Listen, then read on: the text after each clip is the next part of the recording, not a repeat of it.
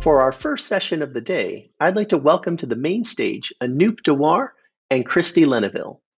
Anoop is GitLab's VP of Product Management, and Christie is VP of User Experience. Together, Anoop and Christie will share with us some of the big wins and product milestones over the last year. Then, we'll get a glimpse into the GitLab product roadmap as they share how we can innovate together on the next generation of DevOps.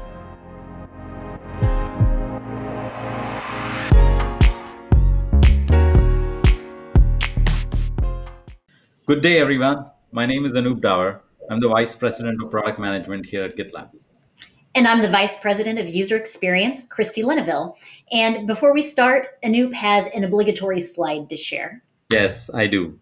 We plan ambitiously and our roadmaps are subject to change without notice. Please use this for informational purposes only. Okay, that out of the way, we are delighted to share a bit about what we've been up to and humbled that you took the time to attend today. I'll start off by sharing the overarching product themes for this year and then walk through some key problems we're looking to solve for you. Then I'll share some recent additions to our product and give you an update about how we're progressing on product maturity. And then I'll conclude with some thoughts about the future. I want to start with the theme of this year's commit innovating together. This is not something new for GitLab, but it bears repeating celebrating, and improving. Just in the first six months of this year, you contributed 1,709 improvements, 261 more than same time last year. This is astounding. Each month, we announce an MVP that has contributed in an outstanding way to help make GitLab better for everyone. I'd like to call out a few.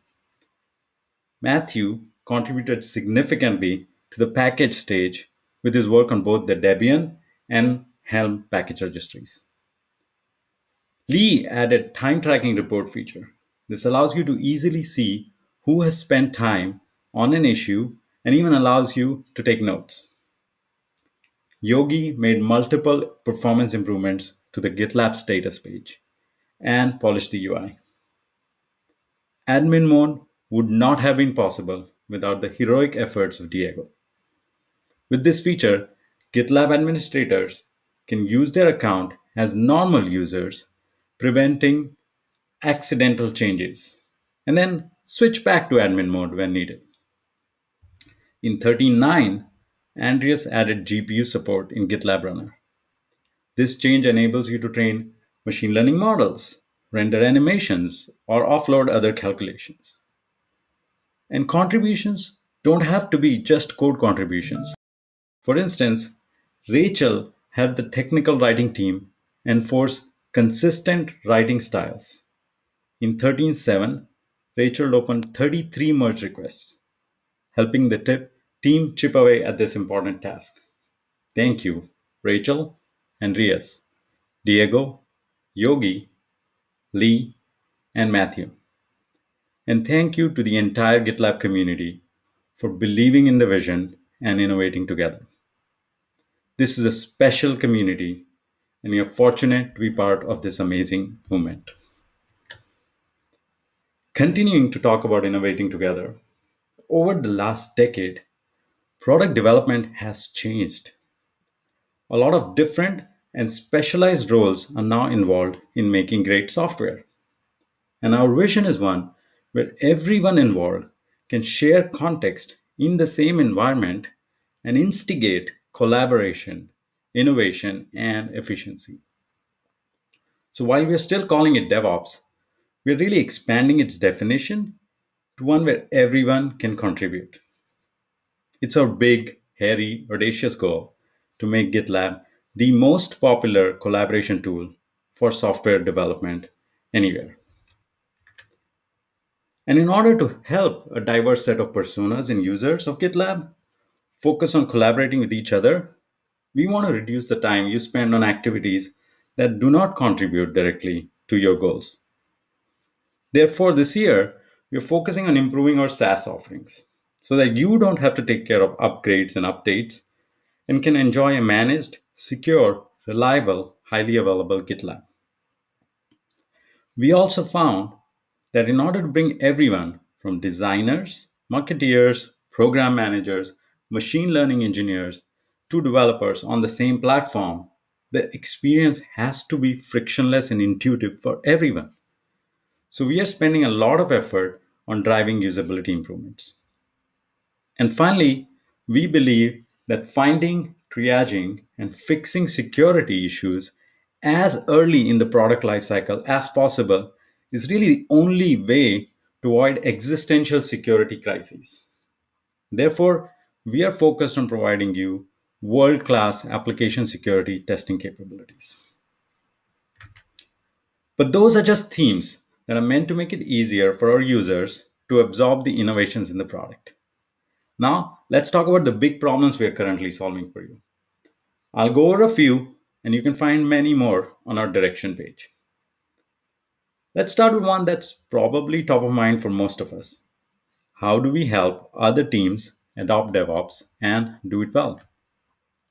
Well, GitLab has a DevOps adoption report that you can use to compare your DevOps status to other organizations. It helps you verify whether you're getting the return on investment on your DevOps investment. It helps you identify specific groups that are lagging in their adoption so you can help them with the journey. It helps you find groups that are leading in their adoption journey so you can take the lessons learned from them and help everyone. We are focused on improving it further.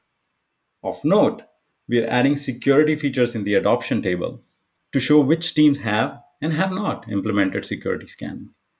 We've also added a progress bar so that you can see how many capabilities a particular group has adopted. Another challenge we see is code complexity, volume, and cloning are increasing.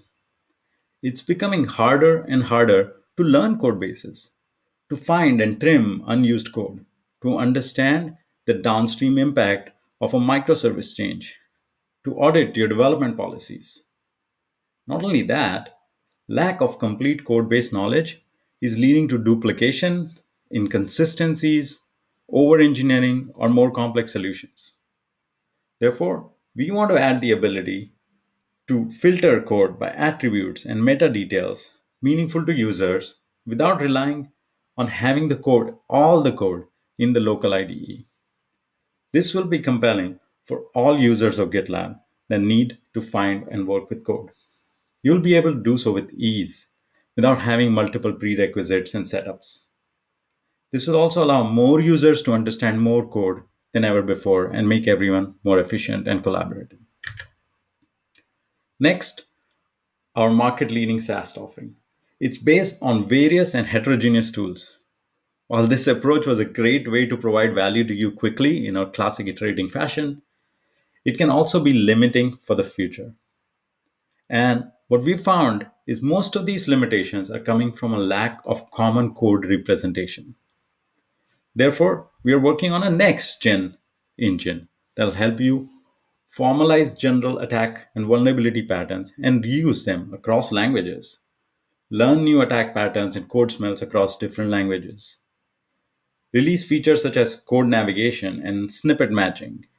Mine for patterns across GitLab projects developed in, again, different languages. And provide data flow and control flow to spot vulnerabilities that are impossible to detect without the complete understanding of the code. I can't wait for the team to up the game on SAST again. Great job, team. And compliance can be complex and time consuming. It is not about checkers checking checkers anymore. GitLab is creating a compliance experience that's built in, not built on. To make compliance easy, and to have developers and compliance team truly collaborate. Christie will cover compelling offerings that are currently available in our compliance setup. I want to talk about what we plan to do. We plan to give you more opportunities to define and enforce policies at an enterprise or a group level, saving compliance teams time. We want to provide you visibility into what is happening, new audit events, webhook based events, and then interface with external systems that you may already be using. I'd also like to share some exciting developments from the package team. The goal of the package team is to build a product that is our customer's single source of truth for storing and distributing images and packages. In 14.1, we saw community contribution to add support to Helm chart that I alluded to earlier, and another contribution is underway for Debian. Both of these features will be dog-fooded, which will also drive internal contributions. We are very excited to accelerate the maturity of GitLab package registry so customers can continue to rely on GitLab as a single source of truth. Exciting times. Meanwhile, our CI CD teams have been busy enhancing our world class CI CD capabilities. You can now securely enable customers to authorize a bot to do the work on their behalf without compromising any other customers who use the bot. We, we made the CI job depend on a stage that's not directly preceding stage, so that can make it pipe, pipelines complete faster. We have enabled Pipeline Editor to work on non main branches so developers can use them on their branches. And later this year, the team plans to help users see usage data of consumed CI so you can anticipate usage for your next month. GA of macOS Runner, something I'm really excited about, enhancing CI template experiences, and providing a project quality dashboard so app dev lead can see how the quality is trending in their projects and prevent escape defects and spend time shipping features and not bug fixes. And there's a lot more. All that built, packaged, and verified code has to run in production. And although customers are able to do container scanning as part of pipeline jobs today, there's no guarantee that the image for the containers that are running in production has been scanned recently. Some customers have production container images that were deployed years ago and have not been updated.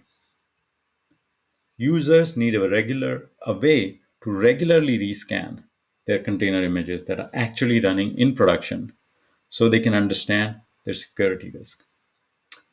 So we are introducing this new capability which will allow users to schedule regular container scans of the images that were used to initialize the containers that are running in production environment.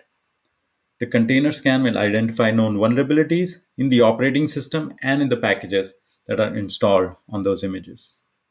And the scan findings will be displayed in a vulnerability report so that they're easy to consume and act upon. We plan to do this without requiring any additional credentials beyond what is already collected when connecting to your Kubernetes cluster to GitLab.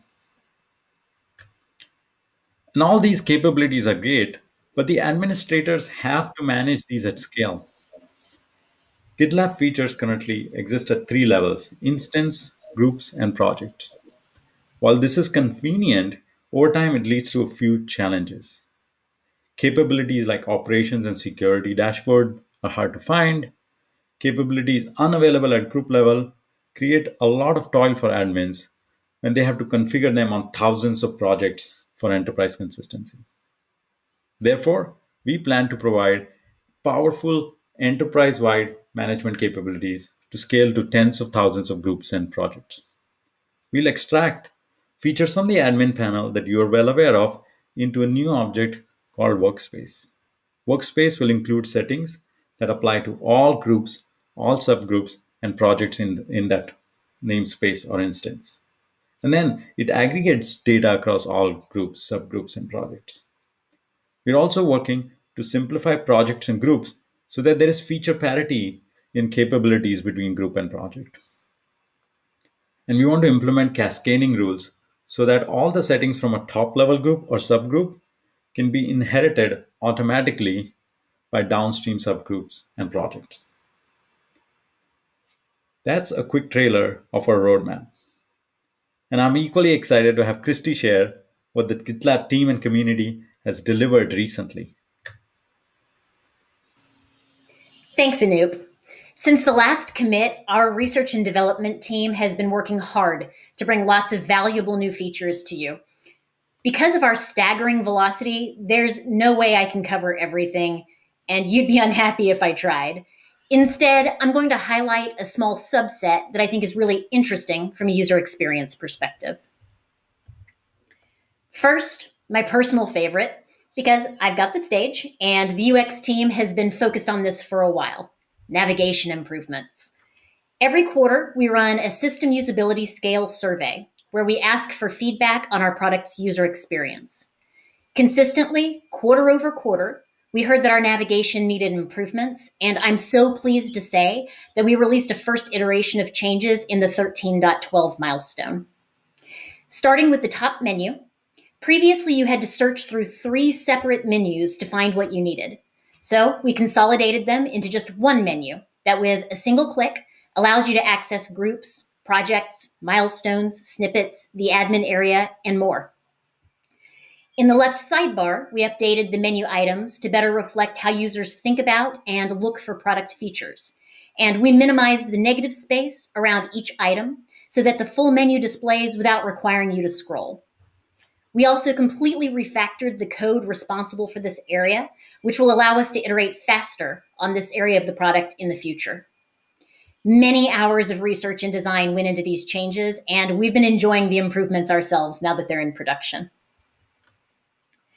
Moving on, we've added a lot of new features to continue our goal of helping you feel confident that your applications, services, and cloud native environments are secure. First, we know that security vulnerabilities don't stop once your application is deployed. In fact, new attacks spring up all of the time, and you need to make sure that your application remains secure, even when you haven't committed changes that would catch new vulnerabilities in a merge request. With on demand dynamic application security testing, you can scan your already deployed applications or APIs at any time, even on a regularly recurring schedule.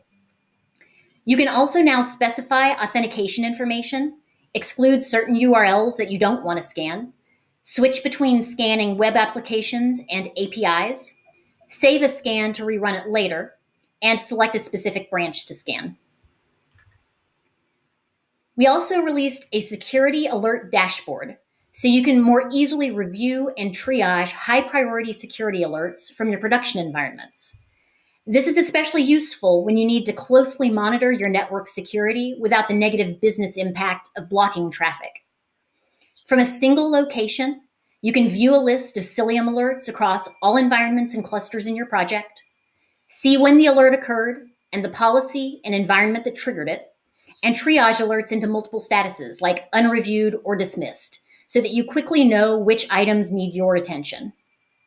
Currently, we only integrate with Cilium, but in the future, our plan is to enable you to send security alerts from any security product. A common theme we hear in user research is the importance of having speedy, reliable pipelines that enable your team to contribute at the speed of development. We've made significant improvements to the way in which pipeline jobs are picked up and executed, and we've provided extensive documentation for optimizing your CI CD pipelines. We're also investing in your ability to rapidly get started and iterate on your pipeline definitions. Recently, we made improvements to the pipeline editor to help new users begin creating pipelines in a blank pipeline file directly from the editor page without the effort of creating a configuration file first. You'll notice that in the editor's right sidebar, there's a walkthrough tutorial on how to get started. And after you begin editing your pipeline, you can also visualize the jobs to make sure the hierarchy and relationships are set up how you intended. I'm excited to see these improvements to our user experience in such an important product area. Speaking of pipeline improvements, we've been working to help security, compliance, and development teams work together more effectively by introducing what we call compliance pipelines. Compliance pipelines help you meet specific requirements like SOC 2 and HIPAA by enabling you to define a pipeline and enforce it for individual projects. The pipeline runs the jobs needed by compliance teams, and then it runs the jobs your development team defines. That means you no longer have to manually copy a pipeline configuration to every project and then monitor it to prevent edits or removal. Furthermore, your users can extend but not modify the pipeline configuration in downstream projects, so you can feel confident that compliance steps run the same way every time. This is a time saver for your security and compliance teams, but it also gives your developers more autonomy in following your organization's policies without becoming compliance experts themselves. Compliance teams also don't need to become development experts to understand how apps are being built and tested.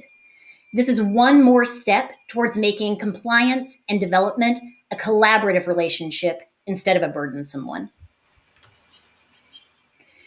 We know that being on call to manage incidents can be stressful, but we're trying to make those shifts easier through more intuitive schedule management. With our new on call schedule management feature, you can establish schedules and escalation policies that include rotations and scheduled overrides. And you can route alerts within GitLab to the right on call engineer for that specific project. Additionally, you can now integrate any IT alerting tool with GitLab by setting up an HTTP endpoint for that service with a unique auth token. For every HTTP endpoint you create, the resulting alerts get transformed into a consistent format that engineers can access from one location in the GitLab UI. That means they get consistent information all in one place, regardless of an alert source. As we expanded our incident management capabilities over the past year, we realized that we were missing a subtle feature that has a big impact on user experience the ability to change an issue's type after it's created. For example, you might accidentally create a regular issue when you meant to create an incident, or you might decide that what was originally a regular issue now should be promoted into a more urgent incident. Now you can make that change by simply clicking the Issues Edit button and selecting your preferred issue type from a dropdown. Don't worry, you won't lose any important data like the description or any existing comments. You've probably heard us talk a lot about how everyone can contribute, and that's not just lip service. We want GitLab to be the premier platform where knowledge workers of all kinds collaborate. And that means we have a wide variety of personas who use our product every day. Not just developers and infrastructure engineers, but product and project managers, designers, marketing teams, and more. One of the key places that non engineering roles contribute is in wikis. Previously, that could be challenging because the only option was to contribute using Markdown, a lightweight markup language that not everyone knows. Starting with our 14.0 milestone, users can now view content as rich text when they edit a wiki to lower the contribution barrier and make collaboration even more efficient. Soon, we'll add this same capability to other content areas like issue descriptions and comments. We'll continue to offer the ability to contribute using Markdown just like you do today. You'll just have more options. Now, even if you know Markdown, this is a great improvement because, at least in my opinion, creating a Markdown table is notoriously tedious. So I'm personally looking forward to having this capability in more of our product areas. Speaking of contributions, merge requests are a key step in that process. We're working hard to continue making our merge request experience in our UI exceptional with ongoing performance and usability improvements. But we also know that not every developer wants to create every merge request in the UI. Sometimes it's easier to stay within your local development environment instead. That's why we released the GitLab MR extension that enables you to create a merge request directly from Visual Studio Code by simply providing a branch name and a commit message. In return, you get a link directly to your newly created merge request so you can quickly access it in the UI as needed. So, as you can tell, our team is very focused on bringing user experience improvements to our product in every release. Now, I want to talk about the work we're doing to increase the maturity of our product categories. At GitLab, categories are product areas that solve jobs to be done. We measure category maturity starting with plan, the lowest maturity, and then categories progress over time through minimal, viable, complete, and finally lovable. Any maturity level above minimal is determined through user research that observes and interviews users and measures results objectively. First, I'm excited to say that our static application security testing category has moved from viable to complete. SAST is like having an automated security specialist double checking for common security issues in your code. When enabled, it checks the source code of your merge request for known vulnerabilities and displays the results directly in your MR and on the vulnerability report. You can also access advanced configuration options in the UI. Our focus for complete maturity has been on making it easy to enable and effortlessly run out of the box. Our automatic language detection includes 23 different languages and even works for mixed language projects. For complex applications, you can run SAST across repositories that include multiple projects and customize your rule sets to disable predefined rules or modify the default behavior of an analyzer. And 95% of SAST jobs complete in five minutes or less, which means you gain security without losing efficiency. Also in security, we've completed the integration of Peach-Tech's API security product into our single platform, bringing our fuzz testing to viable maturity. Fuzz testing capabilities help you proactively find vulnerabilities and business logic flaws in your applications and services. You can now specify which assets you want to scan and under what circumstances by enabling fuzz testing from the GitLab UI. Then you can view any vulnerabilities directly in the pipeline of a recently run merge request or from a vulnerability report that enables you to triage them more quickly and easily. And last, for security, vulnerability management is now also viable. With our vulnerability report, your application security team can see active risks, dive in to understand them better, and quickly verify whether they've been fixed. They can also use bulk actions to efficiently move multiple vulnerabilities through workflow states. And for teams using Jira, your existing integration now allows you to create JIRA issues directly from vulnerability records. As we move to complete, we'll continue to build on the current foundation while also refining the security experience for developers. Security teams can look forward to enhanced reporting capabilities, new automation options, and a host of other features to make managing vulnerabilities even more efficient. A redesign of the MR security experience will make it easier for developers to quickly understand and resolve any security issues as part of their regular workflow. And integrated training options will put highly relevant information right into the vulnerability details. Moving on from security, we have another category that is now complete. With snippets, you can store small blocks of code and text to make it easier to share and reuse.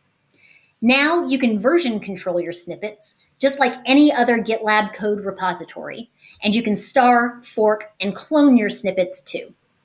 And for a big upgrade, we added the ability to include multiple file types in your snippet. For example, you might want to reuse a mix of JavaScript, CSS, and HTML across multiple initiatives, and multi-file snippets make that easy to do. Additionally, in our drive to make CI/CD as collaborative and simple as possible, our pipeline authoring category has now moved to viable. As I mentioned earlier when talking about speedier pipelines, with our improved CI authoring experience, you can author, visualize, and lint your pipelines before ever making a single commit. Finally, I want to talk about a couple of categories that are near and dear to my heart. First, our design management category is now viable, and my own product design team uses these features every day to enable easier cross functional collaboration. We personally use Figma and have been enjoying the GitLab plugin that makes it easy to upload design assets seamlessly into GitLab issues. But we support this capability for Sketch, another industry leading design tool, too. Even more exciting, you can now place comments directly on design assets so that it's clear which aspect of a design you're referring to. That's often a lot more effective than simply leaving a comment in an issue thread. And our accessibility testing category is now viable too, with new features that allow you to quickly determine the accessibility impact of pending code changes. When enabled, you'll see an accessibility report in the merge request widget that shows compliance with web content accessibility guidelines. That means you'll immediately know if your code introduced problems like color contrast ratio failures before your product change goes into production. Accessibility is a really important topic, Most importantly, because making products accessible creates a better experience for everyone, even users who happen to have disabilities that can make many digital project products almost impossible to use. But it's good for your business too when you build inclusive products that anyone can use. But that's not all. Now I'm going to turn things back over to Anoop to share a little more about a recent key focus area for our development team and upcoming plans for category maturity. Thank you, Christie. That is an amazing update. Thank you for sharing all the great work everyone's doing. I hope you all saw the emphasis on usability and security come through in that update. I'd like to share a bit more about the SaaS first posture as well. Over the last several weeks, we have spent a lot of energy to improve SaaS reliability and performance.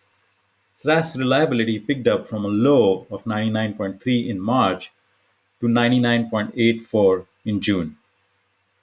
But we have more work to do. The team put in several measures to prevent runner abuse by crypto miners and optimize hundreds of SQL queries. Nearly the entire team refocused towards SaaS first principles, including establishing error budgets for the team and creating room for everyone to raise a flag as soon as they notice something underperforming, and tooling to alert.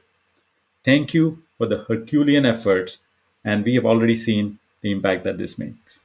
And to conclude, we continue to have an ambitious plan to help you succeed in building better software that is optimized to provide the intended value.